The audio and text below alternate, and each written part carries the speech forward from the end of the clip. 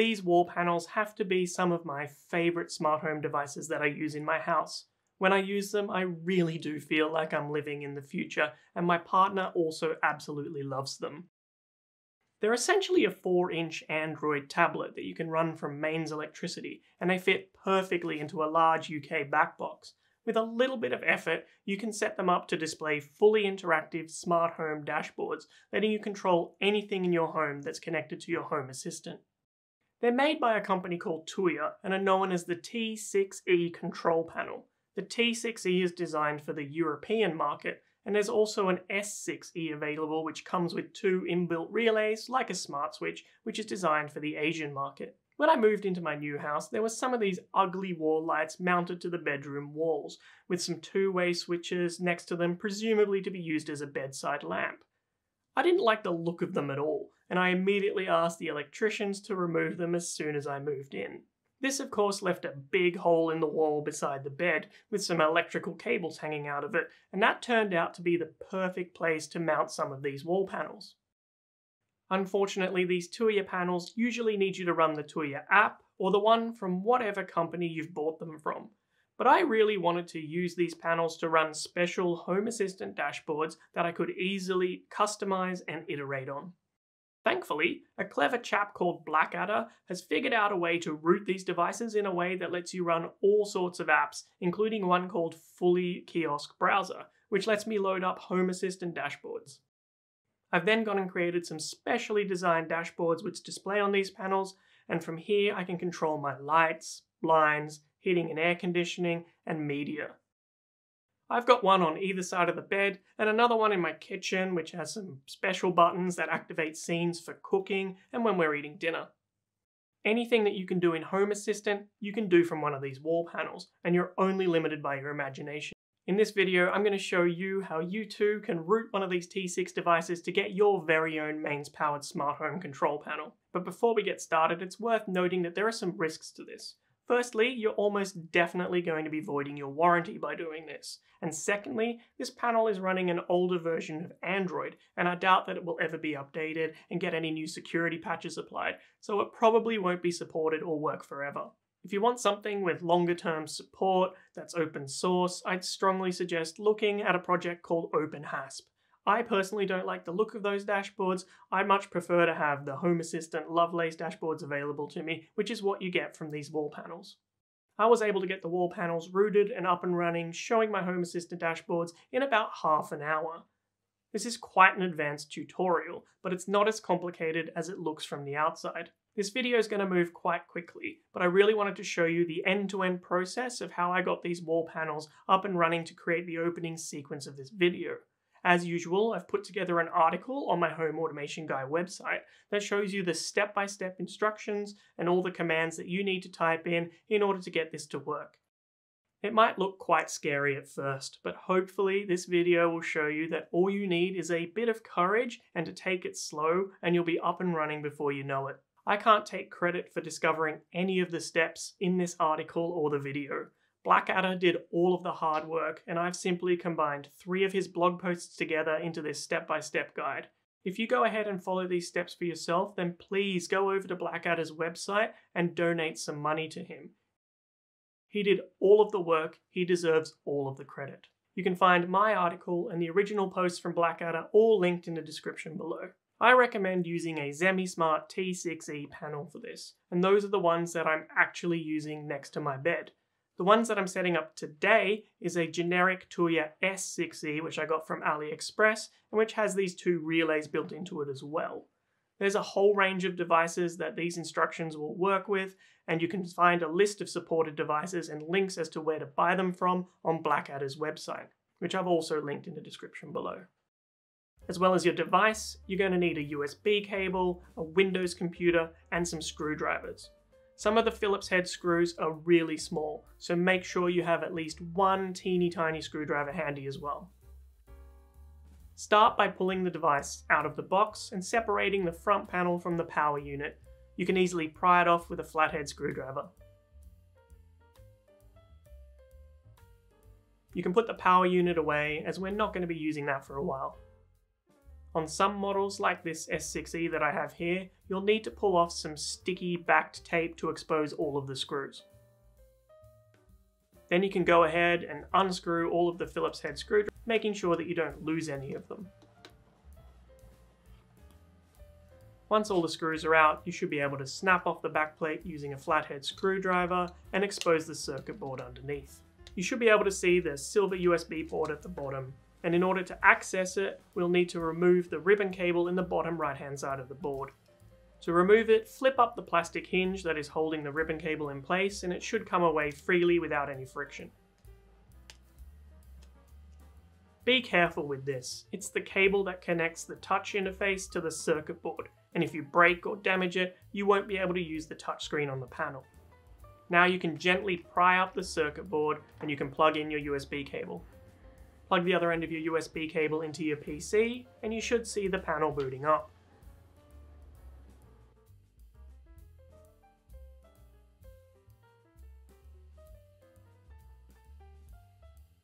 Once it's fully booted, you can put the panel down. You'll need to now install the Google USB drivers onto your computer so that the panel is detected by your operating system and the Android platform tools, which is what you're going to be used to interact with your panel and install all of the apps we'll need. Links to these and some instructions are on the Home Automation Guy website that I mentioned earlier, and once they're installed, you should be able to see the panel discovered in the device manager of your computer. It comes up as a PX30 EVB device. Once your device is detected, open up a command prompt window on your computer and navigate to the directory that you installed the platform tools into. I installed mine into C Platform Tools. The command we're going to be using the most is called ADB, which stands for Android Debug Bridge, and lets you remotely control your Android tablet from the command line. If we run the ADB devices-L command, you should see your panel come up and connected like this. At this point, you'll need to just start downloading files and copying and pasting commands from my article into this terminal. The article explains what each file does and what each command does.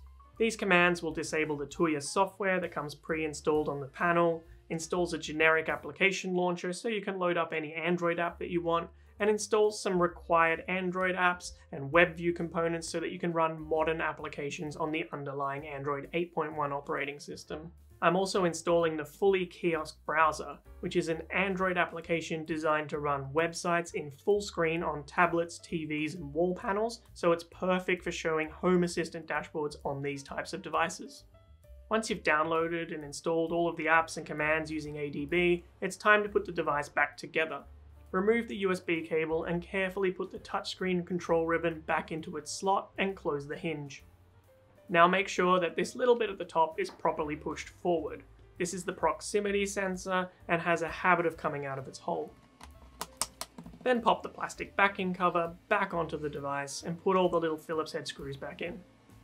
Finally, make sure that the front cover clips back into the power unit properly and you're good to go and install it in whatever switch hole you're going to eventually use it at. For testing, I put mine into my lighting test rig, which lets me make sure that everything is working properly before I mount it into its final position. It wires in like any normal light switch, with a live and a neutral wire going into the back of the power unit. You can see that my S6E has an L1 and L2 relays available for switching on and off the lights like a smart switch, but the T6E won't have any of these. Once it's wired up, you can secure it into the back box like any other light switch, and reattach the faceplate.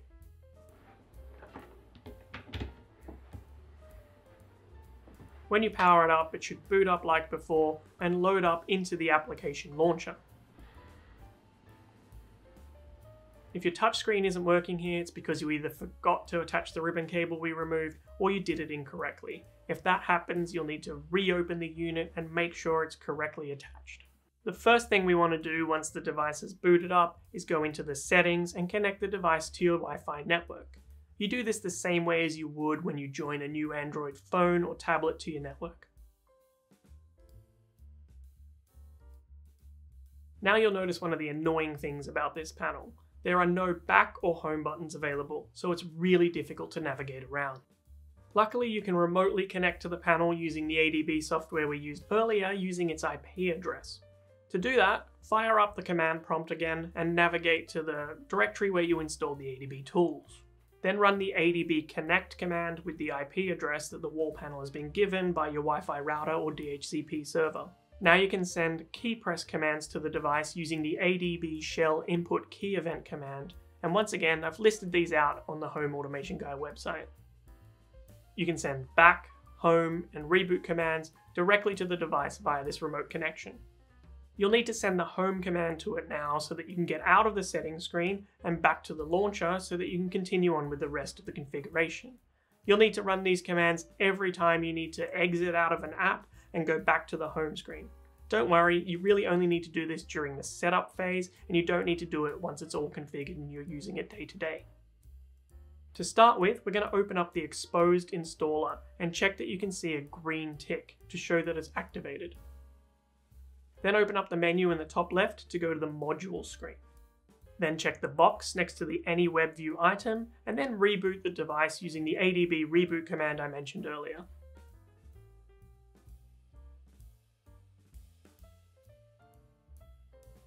Once it's booted up, we can go back into the settings area, then to the system menu, and to the about screen. You need to scroll right down to the bottom and tap the build number screen seven times, which activates developer mode. You can now go back a level and you should see that a new developer options menu items appeared. Open that up and scroll down to the web view implementation option and open that up. We now want to toggle on the new WebView version that we installed previously, the one with the highest version number, which is what you need turned on in order to make modern apps like Home Assistant work properly. Congratulations! You've now done most of the setup you need to get Home Assistant working on this panel. I highly recommend creating a separate Home Assistant user account that the wall panel will use to log in and access Home Assistant. To do this, open up Home Assistant on your computer and go to the settings area then to People and click Users at the top. Click the Add User button and you'll be shown the screen to add a new user account. Create a new user account, set the password, and be sure to turn on the option that only lets this user log in from the local network. Now send the home key command to the tablet to take it back to the launcher and then open the fully kiosk browser that we installed before. The first time you load it up, you'll see a setup screen. And what we want to do here is type in the address to your Home Assistant server into the start URL box. If you've got a specific dashboard that you want to show on the panel, then type in the full URL to that dashboard into the box so that it loads up to the correct Lovelace screen each time. You should see the familiar Home Assistant login screen now, and here we'll enter the username and the password for the special user account we created before, just make sure to tick the box that says keep me logged in so that you don't need to type this in every time the panel boots. If everything worked correctly, you should now see the Home Assistant dashboard loaded up on the screen. You might need to do some tweaking on the dashboard to make it work well on this small 4 inch touchscreen, but the screen is really responsive and if you make the buttons big enough, they're really actually easy to use. Small sliders and thermostats are not so easy to interact with, but the improvements that the Home Assistant team have made on the tile cards are absolutely perfect for this use case. To get to the Fully Kiosk browser settings page, you can swipe in from the left hand side. In here, you can change the start URL, making it load up your special dashboard if you haven't already done so. I would also recommend turning on the setting to load up fully kiosk when the panel starts. That way, if the power goes out for any reason and comes back on again, the panel will automatically load directly into the Home Assistant dashboard that you want. You can find this settings in the device management area of the Fully Kiosk browser settings page.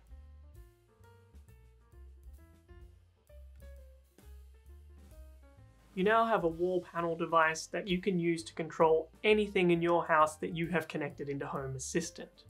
With all the settings configured how they are at the moment, your wall panel will just stay on all the time. This can be quite annoying as it will light up a dark room and also waste a lot of power. The device uses about 1.5 watts of power when the screen is on, compared to less than a watt if the screen is off. The S6E and the T6E have a proximity sensor at the top of the screen that detects if a hand or a person is in front of it, and that can be used to wake up the screen when someone is in front of the panel. To make this work, we need to install a little bit more software to the panel using the ADB commands. Make sure you're connected to the panel with the ADB connect command that we used earlier, and then download the AutoMagic application and a script. AutoMagic is an Android application that you can use to create automations on the device, similar to a Home Assistant automation or an if this then that routine. Once again, this is all thanks to Blakadder's great instructions, which I've referenced on my Home Automation Guy article. When AutoMagic is installed, go back to the home screen and open up the app. skip through the terms and conditions, the tutorial, and I found it easiest to delete all of the existing flows that come pre-installed. You can do that by clicking the kebab menu in the top right and deleting them one by one. Once you've got a blank slate here, you can go into the top left menu and go to the Import Flows and Widgets option. Navigate to the Downloads folder and you should see the script that you copied in there earlier. Click on the XML file to import it. This flow will turn the screen on when the proximity sensor detects an object within a certain range. You can edit it with the pencil icon, and you may want to adjust the distance value so that the screen turns on when you stand in front of it or place your hand in front of it. As you move your hand around in front of the screen, you should see the current value changing. Make a note of the value when you have your hand in the place that you want the screen to turn on, and adjust the distance to be just lower than that value. I find that 300 works well in my house.